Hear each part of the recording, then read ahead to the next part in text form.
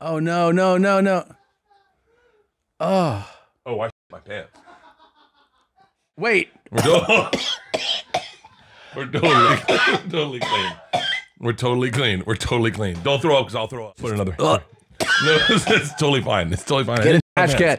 Get a f***ing trash can in here. So there I was, laying awake, contemplating life at 3:47 a.m. this morning on the other side of the world, and one of my regulars drops me an email saying, "Have you seen the new Two Bears One Cave? To call it a spectacle would be an understatement. Bert literally craps his pants and wipes it on the show." First thing out of his mouth is back to the Kelce brothers.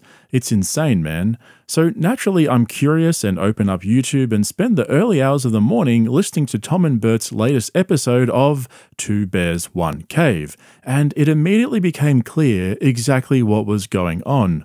The whole thing, unsurprisingly, was completely fake. So let me break it down because I noticed a few things in this episode, and Bert fake crapping his pants all of a sudden became the least interesting thing that I found. Now, don't worry, I'm going to show you how it all went down, but for me, the most interesting part was this gem. That's right. We beat you because we're friends with Joe Rogan. so the story of our careers. we didn't have to try out for a team. Uh. we got picked. our dad owns league. we didn't do anything during this. So, how did we go from Bert fake crapping his pants to bragging about being a Nepo man child? Well, the theme of the episode was two bears versus two Kelces, in reference to the Kelce brothers, Jason and Travis, who play in the NFL. And if you haven't heard, Travis is dating Taylor Swift. And I just want to say this up front. Usually these guys have something to talk about on Two Bears, but it was actually at the end of the podcast when Bert said this Hey, can I come to Thanksgiving? Hmm. that I realized this episode was recorded in the week before Thanksgiving. And what do you know? That was the week that they posted their first podcast together in months called The Bears Are Back. So I'm guessing they banked a whole bunch of episodes that week, so they had a whole bunch of Two Bears episodes in the bag for the next few weeks. That's something that my regulars will be fully up to speed on because we've been following this pattern for a while now. Anyway, the reason I bring this up is because when you're banking episodes, you're basically shooting two or three in a day, which explains why this one was just over an hour long. But more importantly, you run out of stuff to talk about because there's no gap in between episodes. So here we have Tom and Bert balls deep in their banking week with absolutely nothing to talk about. That's when I realized that this whole episode was completely scripted and completely fake. Now, obviously, they plan their episodes out and have topics to talk about, but this one was like completely dead. So, if you look at the timestamps, it's clear that they created this Kelce brothers beef because they had absolutely nothing else going on that week. They literally spent three quarters of the episode going on and on and on about this random beef that they supposedly have because Jason and Travis have their own podcast and they kind of look like bears as well, I guess. And as you can imagine, dating Taylor Swift has brought the spotlight onto Travis and, of course, their podcast. They're coming after us, Tom. Who's coming? They're The Kelce brothers. they are. They're Kelce brothers. They're coming after us. I didn't. I didn't know they were coming after us. though. Yeah, dude. What? What Aaron did, Rodgers DM'd me. This is a lie. what did they? Um. What are they coming after us for? They want our. They want what we got, buddy. We Yeah. got it. We've got to show them Yeah. our capabilities as broadcasters. So that was how it started. Like I'm saying, clearly scripted. Tom was obviously tired. They'd probably been recording all day, and it got so bad that at the five minute mark, like literally five minutes in, Bert starts explaining why Taylor Swift is so famous. Like, seriously, Bert just discovered Taylor Swift is more famous than he thinks he is. Taylor Swift. Okay. Push pause on the us attacking the Kelce brothers. Okay. Taylor Swift is legit. Yeah, she's got something going. She's, She's- definitely got something. She should keep it up. Dude, I mean, I'm being serious. I love to find the thing that no one sees and then, you know, like pick it apart. Mhm. Can't find it in her. She seems like a really sweet girl. She really does, actually. Okay, let's. Have you listened to her music? Uh, I've heard a couple of the hits, but I can't say that I've I know the catalog. Okay, I'll walk you through the catalog. So here we are, five minutes into a Two Bears, One Cave episode, and Bert starts taking us through Taylor Swift's greatest hits. Like, actually, that happened in 2023. But then, after a short diversion, he gets back on track and drags Tom back into the fake Kelce brothers beef. This is what brings me back to the Kelce brothers. It's we wild. can't do what you do. How dare you do two Bay Airs better than us? How dare you do a better podcast than us? We got to show them our strength, Tom. Okay. They need to respect us. They do. What do we do? How do we take these guys just back to our eye level, just so they realize? And so, after pushing and pushing this fake beef, Bert interrupts himself by, you guessed it, fake crapping his pants. I mean, this is one of the fakest, most lame bits I've ever seen on Two Bears. It's right up there with them rehearsing their Golden Globe acceptance speeches. We got to hit up Micah Parsons. Uh, did you? I just my pants. Did you? I just my pants. Did you? I just my pants. Oh no! I just, I just my pants. Really? I just my pants. Oh. I just my pants. I haven't my pants since I lost weight. That's old school. Is it wet? I was gonna wear these jeans tonight. Uh, not anymore. Hold on, let me check. Oh no! No! No! No! Oh! Oh, I shit my pants. No, I didn't shit my pants. Oh my God, good. dude! That was. I was. I thought that was wet. Let me see a, a piece of t- tissue real quick. oh. f- Oh, you think you're gonna get this on the Kelce Brothers High Noon podcast? Hey, Oh God! Wait, where's the trash can? we don't need one. I think we're clean. Ah! Hold on. I think we're clean.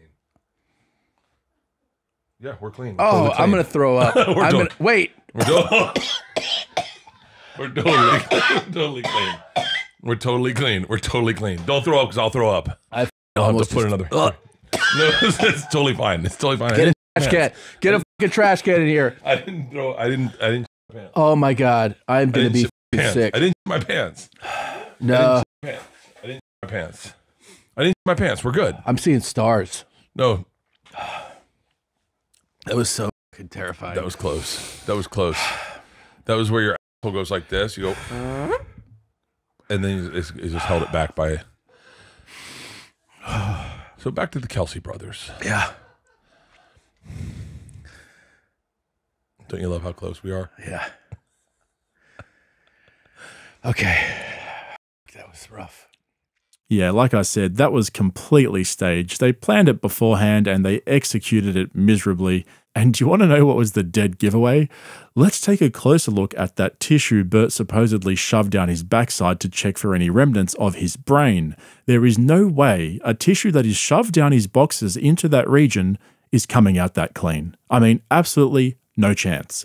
That tissue was as white as the milk that comes out of Bert's breasts. He didn't put it anywhere near his butt. That was the fakest wipe I've ever seen in my life. And funnily enough, I've had a few of my regulars email me to tell me that he apparently crapped himself on stage at a recent performance and did the exact same thing. He put a tissue down the back and he wiped, but apparently on that occasion, the tissue came out soiled. That's what we would expect, right? So, anyway, clearly, if that story is true, it's an ongoing gag that Bert has going on. Now, let me just say this I could not think of a more perfect bit to capture the sum total of Bert's comedy career up to this day. Bert wiping his brain tissue from his butt and showing it to the crowd is the single best piece of comedy he's ever come up with. Wow, bless him. All right, okay, so you guys are now up to speed on the whole Kelce beef and Bert fake crapping his pants. The fake solution to the fake Kelce beef that Bert came up with was to raise money from their respective fan bases to donate to two different charities, and whichever fan base could raise more money would end up winning this fake beef. And this wacky idea came up when Bert started talking about fan bases and concentric circles. So basically, his theory is if they can find a couple more fan bases that align with their own fan base, they can form concentric circles by creating a common ground and use that extended fan base to beat the Kelce brothers and the Swifties to raise more money for their own charity rather than theirs. So if you could team up two fan bases, Mm-hmm. now I'm, I'm getting back for this charity thing because I think this is important. I think I think so too. We need to we need to get our concentric circles. The Beehive, YMH. We, we someone goes on Legion of Skanks, we get their fans involved, Yeah. all for this charity thing, and we're all going after the Kelces. Let's polarize the world. Let's make Republicans and Democrats look like Girl Scouts and Boy Scouts, and let's polarize fan bases. Polarize all for a good cause, all for a good cause. And by the way, Oh. I'm ready for the smoke.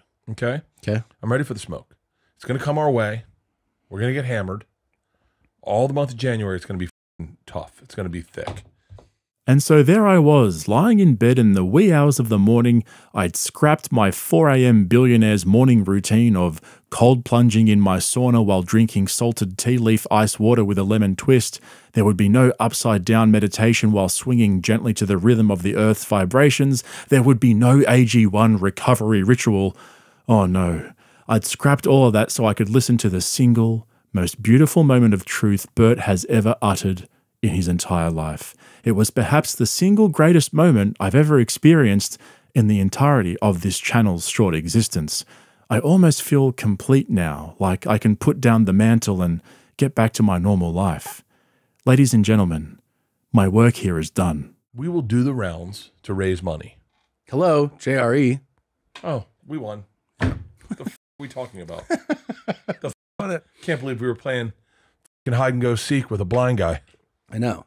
What are we talking about here? Dude, Gotta Rogan them fucking down. knows nothing about football. Nothing. Not interested either. Zero. And all we got to do is show him Travis Kelce getting the jab.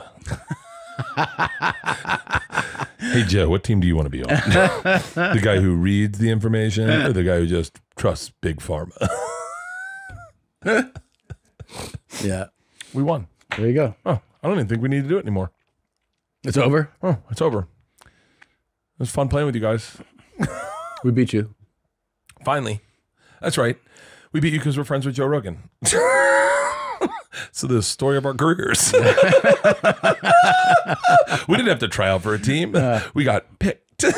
our dad owns league. we didn't do anything during this. It's like those F1 drivers are like their dads just buy the race team. It's hilarious. Um, what, what, you, what, you were saying that, no, what? that was a fun game. It was fun. Wow, it's like watching a baby giraffe walking for the first time.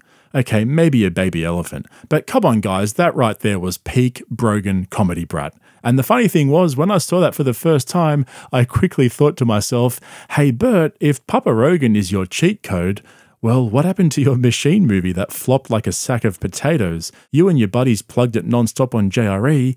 You even played the first teaser trailer on there, all to no avail. Lucky Netflix came to save the day and it was trending at number one for three weeks. I'm trying to get like you boys. I don't have a f***ing feature film about my life in Russia. Oh, number one on Netflix for three weeks. Hey, Pat. Um, I was one of the watchers. oh, thank you. That was three. So, Pat, And so, look, guys, here's the thing, right? We first started talking about the whole banking episode thing a couple of months ago, and if you recall, I said at the time that even though it feels kind of weird to be hearing two week or two month old conversations, as long as they have a good guest and steer away from current events, there really isn't anything wrong with it, right? But I feel kind of silly now that I didn't realize that when you bank episodes like this, you don't give yourself time to go out and do stuff in the real world so you actually have material to talk about on each episode. And if you read through the comments of that episode, oh man, more and more of their listeners are getting sick and tired of these boring podcasts that are filled with ad reads and fake scripted gags that are there to just fill in the space between this and the next ad read. Sad to watch this podcast die a slow death, but it's also cringe to watch them lose touch with reality and become almost as lost as the guys from ESPN before Pat. I've tried so many times to watch this show and I can't make it to the 7 minute mark when Barf is on. I don't think I've made it to the 10 minute mark of a Two Bears One Cave with Bird on it. The non stop interrupting is unlistenable. Two minutes in and almost ready to bail. Brent has gotten unlistenable for me at this point. For the right price, Tom would sell his entire family. I feel like this podcast needs more ads. Now, that's just a few, but their comment section is full of hundreds of comments saying basically the same thing. Bert seems almost completely oblivious to this, but I think Tom is definitely worried about how much longer they can keep this machine going. This time last year, YMH's views peaked at almost 11 million for the week, but throughout this whole year, they've been trending downward, and the same week this year is just under 4 million views. And since August, the whole YMH channel has just been tanking. that means that their ad revenue would be almost a third of where it was this time last year. And when you have all those staff and the overheads that come with operating several different studios, you don't need to be a rocket scientist to see where they're heading. And I think that's the result of making lazy content and just trying to do too much. Even Bert's personal channel is slowly dying. I mean, these guys used to get millions of views per upload just two or three years ago. It's going to be interesting to see what changes they make in the new year and how Tom deals with losing all this money. It's pretty crazy, right? Anyway, thanks for joining me today, guys. I hope you enjoyed this video. Drop a comment below, let me know what you think about all of this, and if you haven't subscribed, consider jumping on board so you get all my uploads right there in your feed. That's it from me. I'll catch you in the next one. He'll say what he thinks. I curb my opinion based on my career. Like I there's things that I sincerely regret saying out loud.